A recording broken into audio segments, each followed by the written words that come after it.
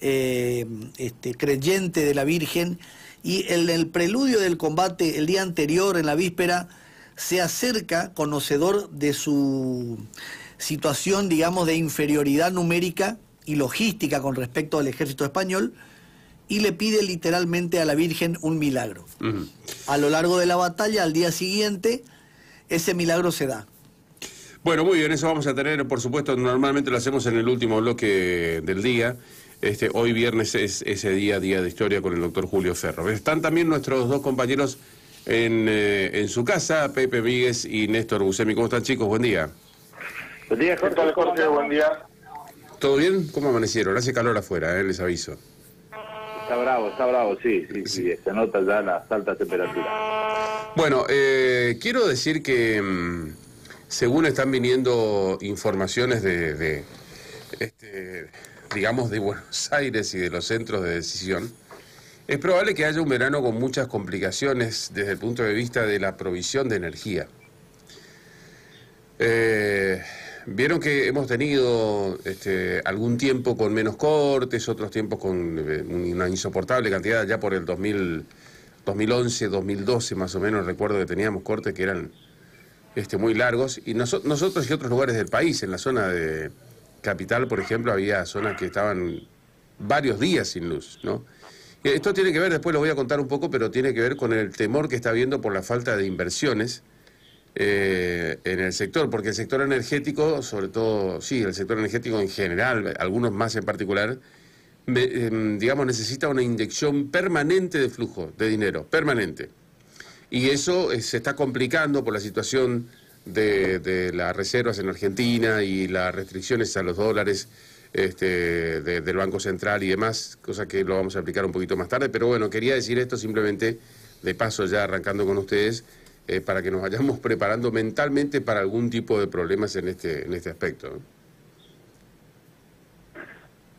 Bueno, esperemos, esperemos que no, digo, no, porque la, con 40 grados estar sin, sin un ventilador. Mira, 40, Pepe, 40 vamos a tener mañana, que es 26 de septiembre. Imagínate lo que puede ser esto en diciembre, enero, ¿no? Sí, digo, Pero un promedio de 40 más o menos, que es lo que vamos a tener en el verano, digo.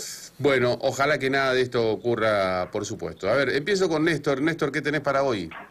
Bueno, vamos a estar contando, por ejemplo, que este fin de semana también comienza la Feria del Libro de Cacatí, contando la, programación eh, para la conferencia inaugural que será esta noche y, y todas las actividades que se va a realizar el fin de semana. ¿eh? Así que vamos a estar hablando también con, eh, con seguramente algunos referentes allí de la cuna de poetas para que nos cuenten eh, cómo viene y de qué manera en cuanto a las actividades y a los participantes de esta feria del libro. Estaremos contando también en el día de hoy, vamos a viajar a Santa Fe, vamos a hablar con una joven cantante que vive en San Justo, que estuvo en una de las ediciones anteriores de la Peña de los Saloncitos, es una de las jóvenes más eh, importantes también del eh, género chamamicero, folclórico de Santa Fe, Ángeles de Lo, eso será promediando ya la mañana, vamos a estar contando las novedades de la televisión, después le voy a estar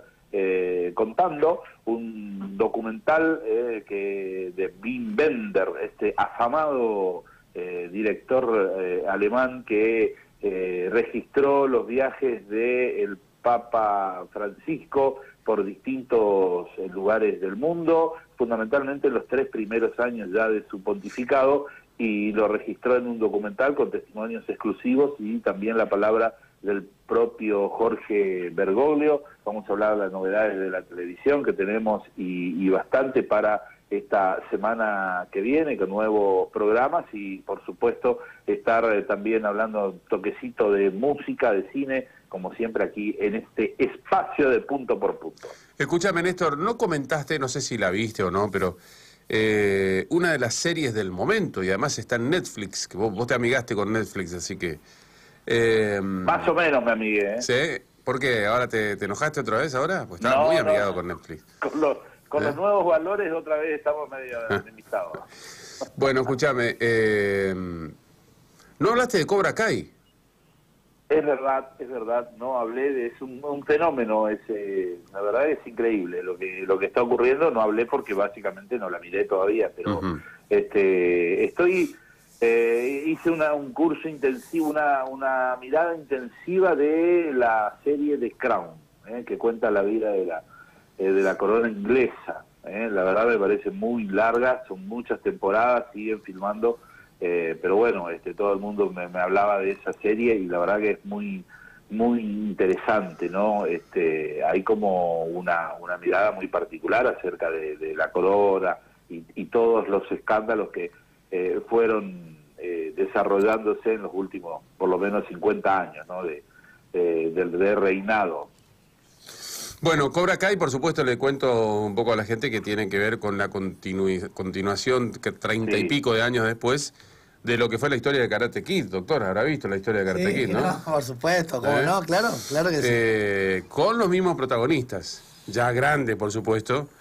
Eh, dicen que es un fenómeno tan, tan increíble el que, está, el que está ocurriendo, porque no solamente lo está viendo gente de nuestra generación, digamos que fuimos los que vimos cuando teníamos 20 años o algo así, las películas. Este, así que muy, muy interesante. Bueno, después, en todo caso, yo no me quiero meter en estos temas, pero después supongo que lo vas a... No, pero recomiéndela y cuéntale, no, está bueno, está bueno, ¿eh?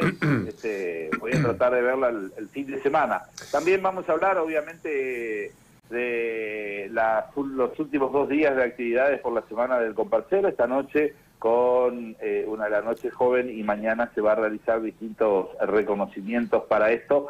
Eh, y también anunciando que en el mes de octubre, eh, la primera semana, eh, casi con seguridad, se va a estar anunciando la cancelación ya confirmada de la edición 2021. Ajá, y sí, claro, este ya no hay tiempo ni posibilidad de prever nada, nada que seriamente se pueda hacer, ¿no? supongo que eso va a modificar también probablemente, bueno, no sé en qué, en qué, cómo quedó el estatus del, del contrato, pero que va a modificar seguramente la continuidad y las condiciones de continuidad de quien se hizo cargo del carnaval este año, ¿no? Digo, de la organización. Mm. Eh, lo, que, eh, lo que ocurre es que no hay vínculo contractual porque recordarán ustedes que se estableció a partir de este año que eh, la relación, digamos, entre la empresa organizadora y la municipalidad sea anualmente, es decir, una vez que finaliza el eh, cada edición se resolverá si continúa esa empresa o no, digamos, o sea que por ahora no hay ningún vínculo, digamos, que, que una a la municipalidad con, con la empresa, con en este caso Egg Music. Ajá. Bueno, eh, se verá entonces qué ocurre, porque yo honestamente no creo que este hombre haya ganado plata en este primer año de organización del carnaval, y ese es un negocio que eh, se amortiza con el tiempo y se empieza a ganar plata, no sé, en el segundo tercer año. No creo que, que en una plaza como esta, digamos, y con tantos, con tantos temas en el medio, se pueda ganar de una, el primer año, digamos, ser una, una, una inversión rentable, ¿no? A lo mejor sí es una sorpresa para mí, pero bueno, este, veremos qué ocurre. Seguramente sería una sorpresa si esto ocurriera. Habrá que ver a partir de ahora eh, si se va a trabajar para realizar un, carnaval virtual, lo que por lo menos en el ambiente carnavalero lo ven muy muy difícil, ¿no? Porque es un formato muy complejo de llevarlo adelante y de realizarlo de, manera virtual, digamos. Ya eh, prácticamente ninguna comparsa anunció tema, no hay nada previsto para el año que viene, no hay trajes, no hay nada. Eh, en general se desarman los trajes, por lo tanto eh, va a ser muy eh, complicado, digamos, de poder desarrollarlo en el formato de acuerdo a estos tiempos, ¿no? Que corren de manera virtual. Sé que por allí también hay algunos proyectos dando vueltas de realizar una especie de exhibición en el anfiteatro Cocomarola, pero, pero nada más. Lo cierto es que eh, la semana que viene se estaría ya anunciando la cancelación definitiva, digamos, tampoco es algo que, que puede llegar a sorprender a nadie, ¿no? Mm. Es un secreto a voces y está claro que en este marco de, de situación en donde se va extendiendo la cuarentena y las restricciones fundamentalmente a todo lo que tenga que ver con espectáculos públicos o reuniones públicas, es muy difícil poder siquiera imaginar, pensar que se pueda desarrollar el carnaval, ¿no? Ok. Bueno, Néstor, eh, gracias. Eh, quédate por allí porque le quiero hacer una pregunta a los, a los tres. Pero ahora, Pepe, contanos, Boca jugó mal, pero se trajo los tres puntos. ¿Es así? Ganó sobre, el final con gol de, su goleador, otra vez el Toto Salvio aprovechando esta vez para, para definirla sobre, sobre el final. Un partido de esos que, que podés pegar varios bostezos de, esa realidad. Un partido flojo desde ese punto de vista. El tema es que veníamos de, ver un partido con una superioridad muy grande de Boca contra, contra Libertad, con muchas situaciones. Eh, que ha creado, más allá de los goles, había generado, había sido muy superior. Y en este caso no fue un partido de alto vuelo, eh, pero en líneas generales terminó ganando por el que más eh, jerarquía tiene o, el que más lo buscó en, un partido, insisto, chato como el que, que jugaron ayer Boca y, y Pero lo importante después sobre el final es que, o con el diario del lunes, en este caso es que Boca se trajo los tres puntos de Colombia, mm. que volvió a mostrar una solidez defensiva, que eh, está prácticamente con un paso en la siguiente ronda de, la Copa Libertadores, porque bueno, se adueñó del grupo, está puntero, tiene que jugar dos partidos de local, eh, lo que resta de esta fase, y aparte eh, con una con una victoria más ya va a estar consiguiendo la, clasificación a, los octavos de, final. Así que eso en líneas generales a Boca lo va a dejar tranquilo por eso, porque fue de visitante, mucho tiempo que no ganaba por allí, eh, y terminó consiguiendo esta, esta victoria que, le permite estar cómodo al equipo de,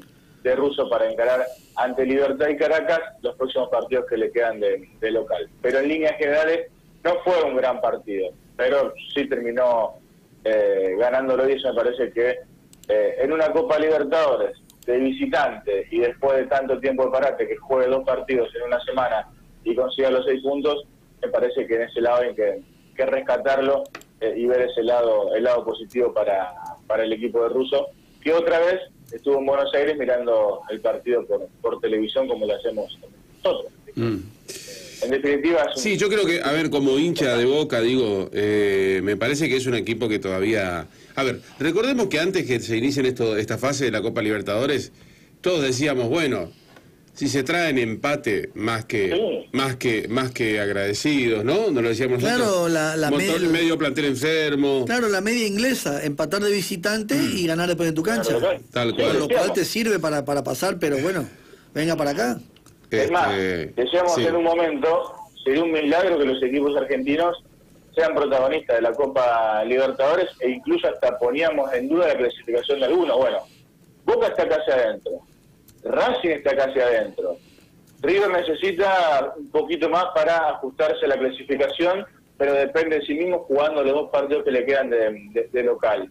Eh, defensa y justicia de estar prácticamente afuera porque no tenía puntos, lograr meterse en el segundo lugar en zona de clasificación. El único que, pero por, por plantel y porque los rivales que tiene, era Tigre, que mantiene esa misma, esa misma tónica, eh, pero después los otros equipos argentinos es como que eh, terminaron de, acomodarse en una Copa Libertadores que antes del eh, en antes del parate no la tenían tan tan sencilla como parece que la tienen ahora.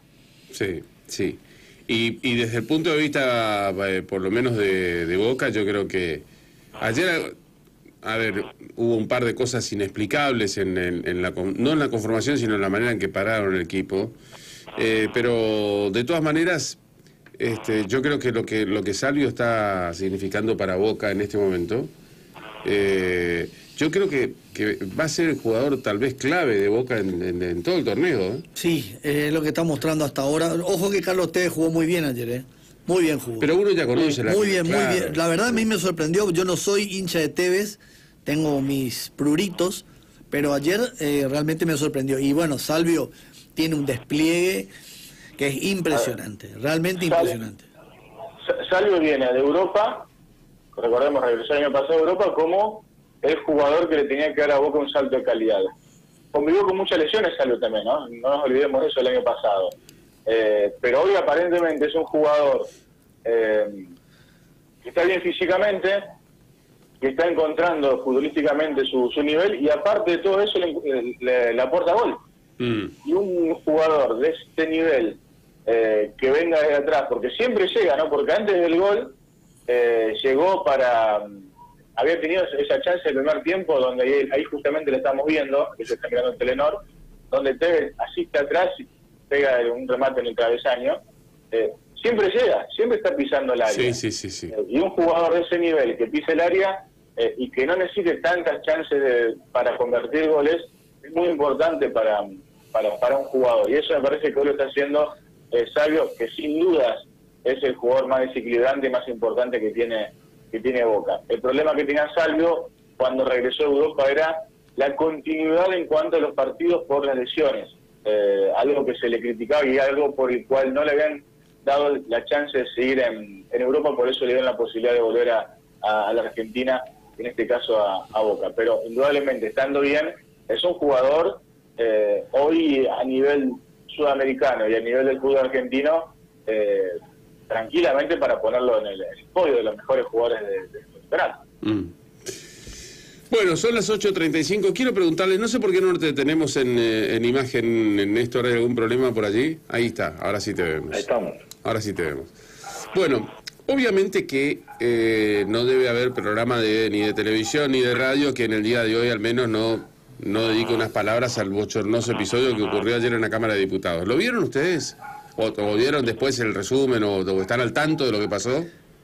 Sí, lo vi, lo vi, el resumen, no en directo, mm. pero vi la, información y el, eh, la insólita explicación que dio el... ¿Y qué opinas? A ver, voy a decir, voy a usar dos líneas para eh, suponiendo o presuponiendo que hay alguna gente que pudo no haberla visto, por supuesto, estaban en una sesión telemática, digamos, vía Zoom, tratando un tema importantísimo, nada más y nada menos que el destino del Fondo de Garantías de Sustentabilidad de los, de los jubilados, digamos, básicamente. Estaba hablando, estaba en el uso de la palabra el diputado Carlos Heller, y en un momento se vio que un diputado, que en principio estaba solo, este, llama a, una persona, viene el que él dice que es su pareja, otros dicen que es su asesora, pero que no es su pareja formal, yo que sé, ya problema de la vida privada en ese caso eh, la sentó en el regazo, empezaron a hacerse unos mimos y en un determinado momento, en plena cámara y en plena sesión, él dice que inadvertidamente, él no advirtió que estaban en línea, pensó que estaban eh, offline, digamos,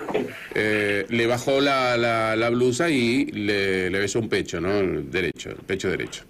Em, por supuesto que ahí se armó un escándalo inmediatamente, le advirtieron al presidente de la Cámara de Diputados, este, se rápidamente Massa eh, aplicó lo que indica el artículo 66. Bueno, hizo todo lo que, lo que debía hacer, se suspendió de inmediato a este hombre y, mm, y, además anunció la conformación de una comisión de cinco miembros para decidir qué sanción en un máximo de 60 días le iban a dar por este, ese, ese episodio. Ahí estamos viendo un poco en, en imágenes, ¿no? Eh, después, bueno, el diputado este empezó a, hablar por los medios, a intentar justificarse, diciendo que, bueno, que se trataba de, que le estaba mostrando su pareja formal, cómo le había quedado la operación, en fin. A medida que hablaba, más se enterraba, me parece a mí. Y finalmente se conoció que sobre la medianoche presentó su renuncia, que fue aceptada obviamente de inmediato por el Pleno de la, de la Cámara. Ahora, ¿qué opinás vos, por ejemplo, Néstor? Porque a mí me interesa conocer la opinión de ustedes también. No, vergüenza, vergüenza, realmente que en estos tiempos suceda estas cuestiones eh, casi diría infantiles, de falta de, ubicación con respecto a, su función que desarrolla y cualquiera de nosotros que hacemos un Zoom o cualquier tipo de reunión de manera virtual, obviamente que ni se nos ocurre eh, absolutamente nada, este, realmente es insólito. Eh, es insólita las explicaciones que dio también de una intervención quirúrgica, que es una cosa eh, bastante patética y bueno, afortunadamente renunció, la verdad yo pensé que no iba a renunciar y que iba a seguir eh, como otros casos, ¿no? que también deberían haber renunciado cuando se producen algunos hechos bochornosos y no lo hacen, así que corresponde claramente que haya, haya renunciado. ¿no? Mm. Pepe, ¿vos lo viste? Sí, sí, lo vi, lo vi ayer y vi también algunas eh, explicaciones que no lo podían entender de algunos periodistas de Buenos Aires de defenderlo, pidiéndole que ¿Ah, sí? las explicaciones, por la tarde vi si alguno. Mm. Eh, primero es que si, si estaba trabajando, estaba prestando, me parece, mucha atención, ¿no? Porque si llama una señorita para que Sí. caso estaba más eh, tratando de hacer otra cosa que, que trabajar. Eh, después también escuché, como dijo Néstor, la, eh, las explicaciones. Eh, ayer me parece que, bueno, fue lo más, lo más justo que era la, la denuncia, pero la verdad que una vergüenza es como que a nosotros empezamos a traer a nuestras parejas o a, a quien sea acá al, al Zoom y estemos más prestando atención a eso que a lo que estamos hablando nosotros. Mm. Es una falta, primero que ellos, ellos se deben también al pueblo y una falta de respeto hacia. Julio. No, la misma sensación. Yo vi, yo lo vi en directo, lo vi en vivo, pero no, no estaba prestando atención en realidad, igual que el diputado, pero veo el enojo de masa y veo que Camaño le dice, pero explíquenos qué pasa, porque no, no estamos al tanto. Y ahí me empiezo, ahí, ahí sí sigo el, el- el- el hilo y veo una cosa que yo no. Yo pensé que era una cargada, eh, entendí, bueno, después entendí todo. Sí, vergüenza, vergüenza total y absoluta. La misma vergüenza que me dio cuando eh, me llegaron los audios que se le atribuyen a Susini, acá en Corrientes, la misma vergüenza. Y hubiera tenido también la misma actitud y no esperar que el gobernador lo releve del cargo de consejero. Debería renunciar él solo. En este caso, este hombre, después dan los antecedentes. A mí, yo nunca, como abogado, no me guío mucho por los antecedentes, porque en definitiva, Jorge, tiene que ver con el comportamiento en ese caso puntual. ¿Pero te parece que los antecedentes no son importantes? O sea, Mm, no, lo, que estamos haciendo... Barra Brava de River, eh, se peleó con la policía, recibió un disparo en el ojo, se fue a Salta, no, no, no, no, no veía yo por dónde le, le estaban encontrando. El Tiene comportamiento... antecedentes por denuncia de, de violencia de género, ataque a mujeres, toma de bien, tierras. Está bien, pero en este caso esto no es violencia de género en sí. Claro, pero, Es, bueno. un, es una cosa que es inexplicable al ojo del mundo. El mundo nos está viendo en este momento y está diciendo, che, ¿qué institucionalidad tienen estos tipos? Desde el 83 evidentemente no aprendieron nada. Eso es lo que yo entiendo. Muerto de vergüenza como argentino, muerto de vergüenza por los representantes que tenemos, o por el representante Amerí, digámoslo así, porque no tenemos que a los 290 diputados de la Nación este, crucificar y asesinar por esta cuestión.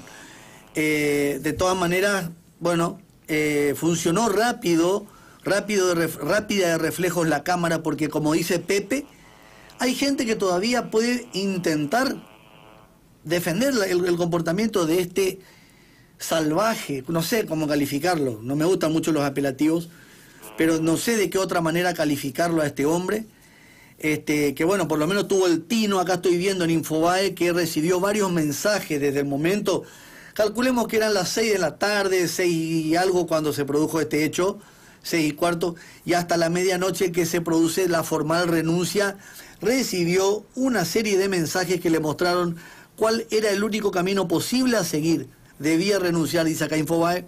Efectivamente, es lo que pasó con, e- con este, con este hombre, que ni siquiera sé cómo llegó a ser diputado nacional. Bueno, es que, Es ahí, es que ahí está, por eso yo digo, eh, eh, bueno, Pepe y, y Néstor, eh, gracias chicos, ¿eh? enseguida volvemos en el otro bloque, estamos en contacto nuevamente. Muy bien. Eh, 8.42. Justamente, Julio, lo que yo quería decir es que, eh, por eso disiento de esa parte de tu, de tu, de- de, pero tu postura, quiero decir... Yo entiendo, pero yo te digo como abogado nomás. Los abogados mucho en ese sentido. Esto es lo que te quiero explicar. Cuando nosotros eh, eh, tomamos un caso, vamos al caso en sí. Digamos, si después entró a robar antes, eso lo dejamos medio de lado. Claro, pero, es como abogado. Pero a mí me parece que no se El común de la bien, gente no. Está bien, es tu opinión, eso. por eso la respeto. Yo creo que justamente, mira, Fe, nuestro productor, mi productor ahí en Rosario me está preguntando, che, vamos por ese lado. Y yo eh, creo que todo el mundo va a ir por ese lado. A mí lo que me interesa es lo siguiente. Por eso yo digo que ante- para Sí. mí es muy importante el tema de los antecedentes. Muy importante. ¿Por qué?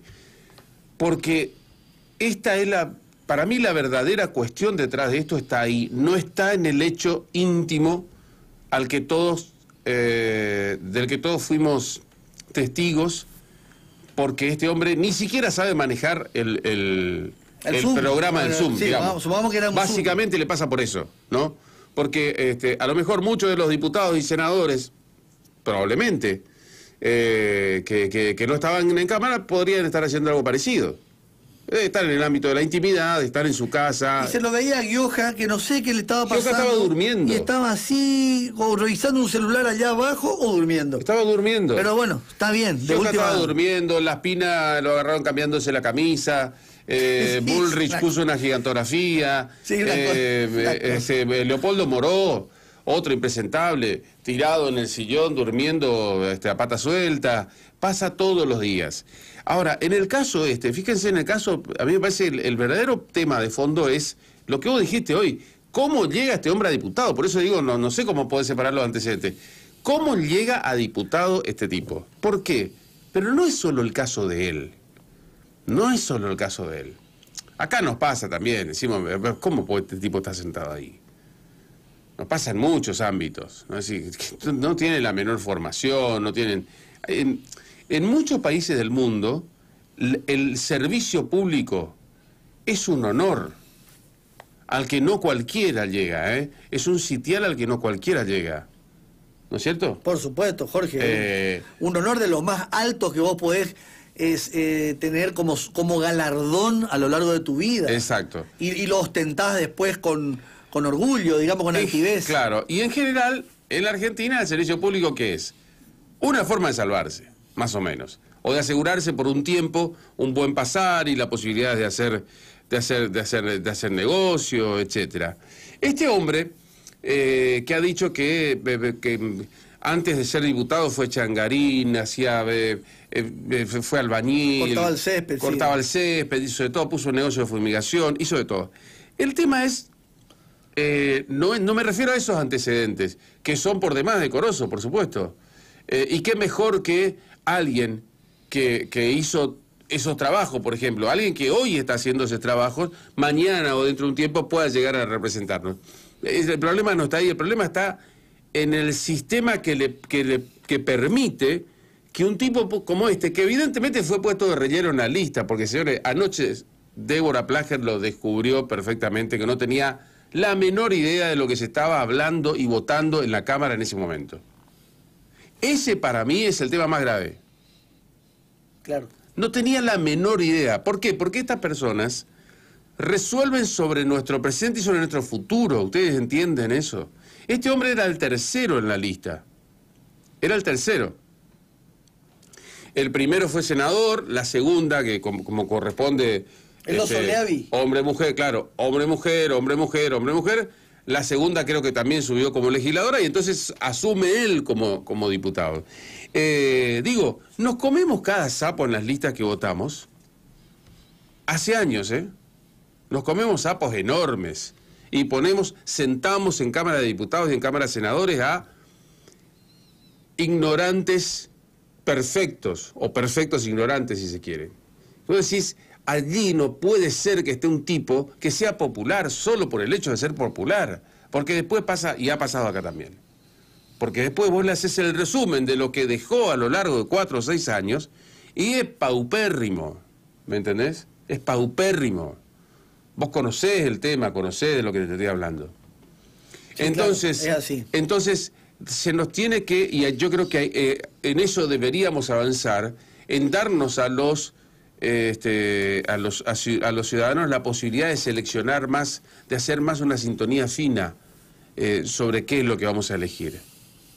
Este sí, este no, este sí, este no, este merece, esta no merece. Y a otra cosa, deberíamos tener esa posibilidad. Porque nos pasa muchas veces, le puede pasar, estoy seguro que le pasa a ustedes también, que a veces van al cuarto oscuro y dicen, che, qué lástima que este tipo, porque me gusta, o qué lástima que esta Sí, mujer claro, está supuesto. acá al lado de este delincuente. Por supuesto que sí. ¿No es cierto? Claro, claro. Qué lástima que está al lado de este, porque te juro que si, yo lo votaría. Lo que pasa es que si le voto a ella, Entra el otro. entra el otro. Entonces, prefiero que no. O sea, en cierta forma, eh, está viciado lo que estamos eligiendo. Por eso deberíamos ir perfeccionando esas herramientas en la democracia, porque si no nos pasa esto. Este hombre, claro, eh, anoche se habrá querido matar, porque es probable que sí, que haya sido albañil y todo lo demás, y es probable que haya llegado, hasta hoy, haya dicho, bueno, cuatro años me salvo, Claro. eh, Claro, sí. estoy del otro lado, Eh, no sabemos si a lo mejor no, no tuvo la gentileza de, regalarle la operación a su a su asesora, amante, no sé qué, pareja, mujer, eh, no, es su, no es su esposa. Creo que se separó él. Se separó de una dirigente social también, que es del, frente, del mismo frente que él, que acompañaba a Los Olivi en, en, como candidata a diputada. Sí, sí, sí. así que a mí me parece que el tema de fondo está ahí, porque ¿saben qué? Graciela Camaño, por ejemplo, estaba indignadísima, eh, diciendo que es, un espectáculo triste eh, y hay que sancionar inmediatamente. Graciela Camaño le dio vuelta la cara de un sopapo a Carlos Kunkel en plena sesión. Sí, claro.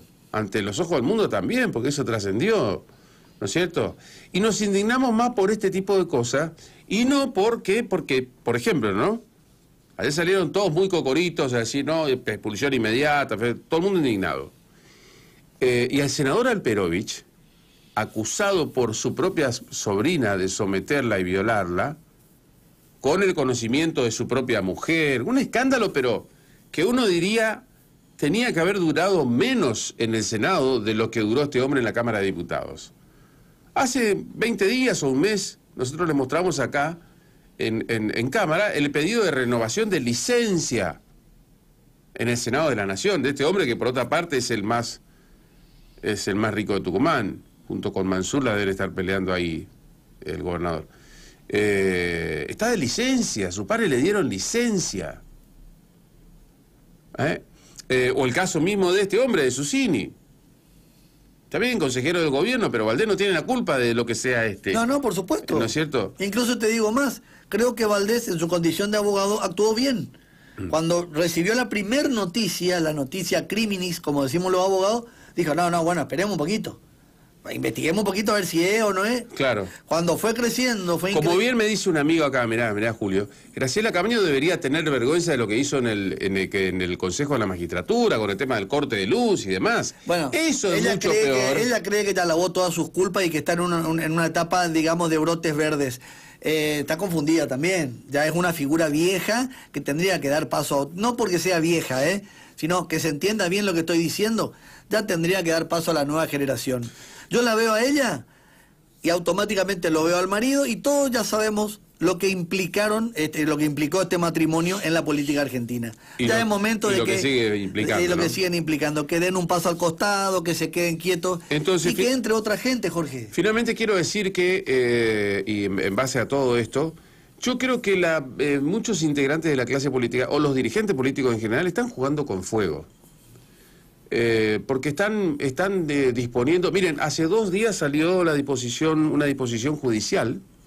El título era muy cómico, porque el título decía: La justicia ordenó que Máximo Kirchner no pague los impuestos.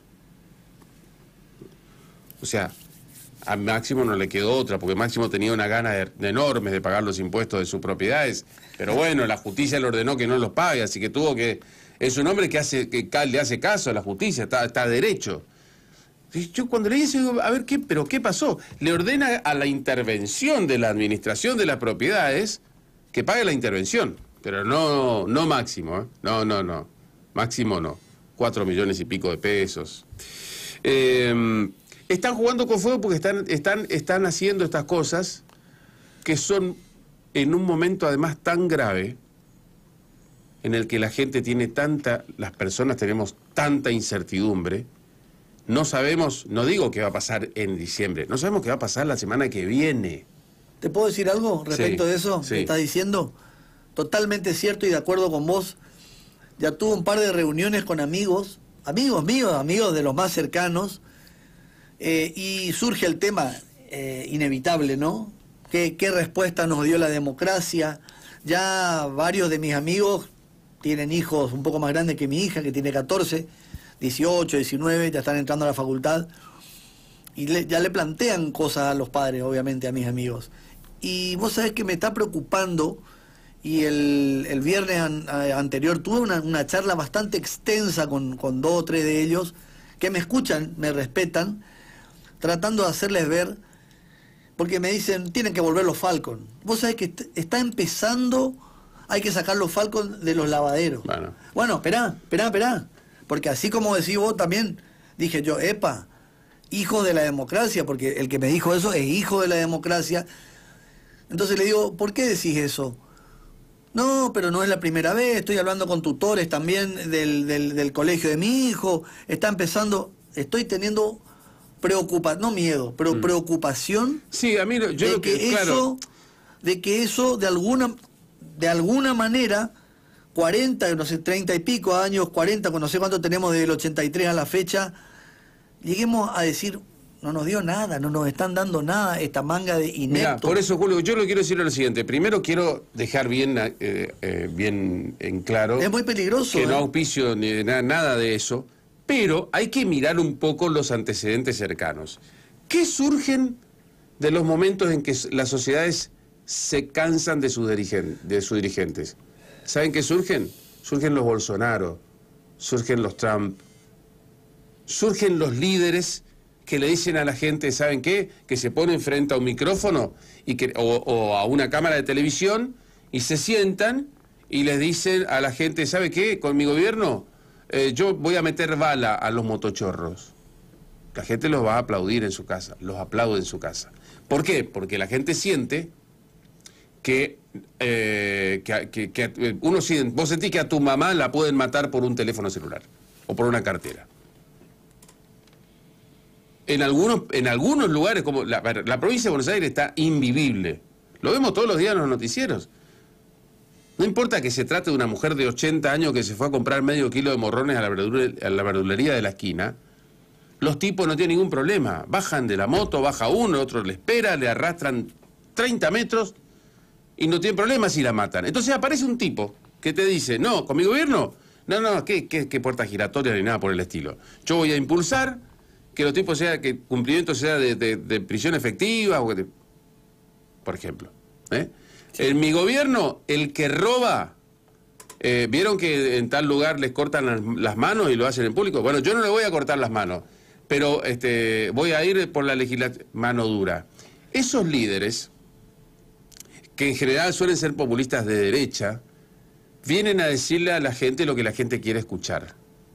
Porque yo estoy seguro que en muchas conversaciones, como dice Julio, de los amigos, o este, cuántas veces eh, decimos, o nos llega un video, por ejemplo, ¿no? De que lo agarraron, ayer pasó en la esquina de mi casa, eh, ahí en el sindicato de Luz y Fuerza. Justo yo llegaba, la policía estaba de contramano, todos agarraron a un, a un, a un, a un ladrón, lo tenían ahí en el piso, el otro se había escapado, lo andaban buscando, ¿no? La gente indignada. Em, ¿Cuántas veces recibimos un video, nos, nos pasó escucharlo, ¿no? Recibimos un video en donde la gente lo agarra a un, a un tipo que les entró a robar o que le arrastró a, una, a, un, a un chiquito sacándole la bicicleta o lo que fuera, lo agarran y lo amasijan casi hasta, hasta matarlo. ¿Cuántas veces escuchamos decir bien hecho? ¿O no vamos a ser los hipócritas? ¿Cuántas veces escuchamos decir, bien, está muy bien? Y ¿saben qué? No está muy bien. Pero el problema es que ya estamos cansados de sentir que por un lado decimos, che, la policía no hace nada acá, viejo, no hace nada, y después vos empezás un poco a ver, y la policía sí hace. Pero los tipos te dicen, escucha, me gano 30 mil pesos, hermano, me voy y me meto allá en el barrio más bajo de la ciudad, o de la localidad, lo que fuera, arriesgo mi vida, lo pongo a disposición de la justicia y yo sé que mañana a las 8 está fuera. Sé que mañana a las 8 está fuera. Eh, entonces, es demoralizante todo eso. Por eso digo, están jugando con fuego. Yo honestamente no, creo que porque la gente quiera que vuelan los Falcons, saquen de los garajes, como dice Julio, que dicen sus amigos. No, no, no, digo, eh, no, no, por eso. Por eso es que Bernie. Entiendo claramente y está, estás bien encaminado en cuanto a tu análisis. Yo te digo una, una respuesta extrema que escuché y que me preocupó. Mm, claro. Porque no viene de un hijo de un almirante que quedó enojado eh, porque al padre lo metieron en cana en la época. No, no, no. Es un amigo mío común, un laburante de mi edad que, que, que vivió toda la transición que entendió la democracia y se la inculcó a su Julio, y cuando digo eh, eh, están jugando con fuego, no hablo solamente por esta por estas cosas, sino sino eh, em, que tiene que ver con la inseguridad, sino con lo que hacen los dirigentes, con lo que hacen en nuestra propia cara, in our faces, ¿cómo se dice? Ayer una ministra, yo le voy a contar ahora la historia, ¿no? Una ministra que tiene 20 propiedades, ministra de Gobierno Nacional que tiene 20 propiedades, declara, entre otras cosas, que tiene propiedades que salen 5.600 pesos. No, 5.600.000 no, 560.000 no, 5.600 pesos. Lo tengo yo en el bolsillo en este momento. 5.600 pesos. Es la ministra que dice que es absurdo que el metro cuadrado en la Argentina esté cotizado en dólares. y claro, si usted tiene cotizado ante la Oficina Anticorrupción presentada una declaración jurada con una casa que vale 5.600 pesos, una de sus 20 propiedades. Y ahora les voy a contar qué ministra es y cuánto dice que tiene. Cuidado con joderle tanto a la gente, insisto. Cuidado con joderle tanto a la gente.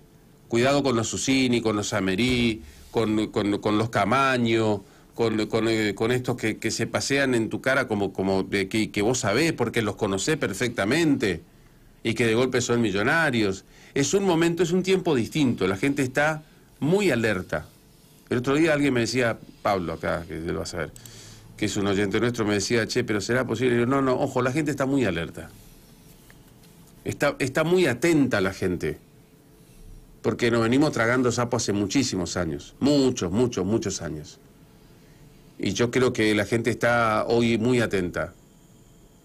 Y yo, no hablo de ideologías, ¿eh? no hablo, hablo en general de, cómo hay muchos dentro de los dirigentes, entre los dirigentes políticos y entre la gente que nos gobierna que piensa que que a todo el mundo se le puede mentir, ¿no? te decía Lincoln, Lincoln, vos podés mentir a unos pocos todo el tiempo, podés mentirle a muchos durante algún tiempo, pero no podés mentirle a todos durante todo el tiempo. Cuidado con eso. Las nueve en punto. Hacemos la primera pausa y ya venimos.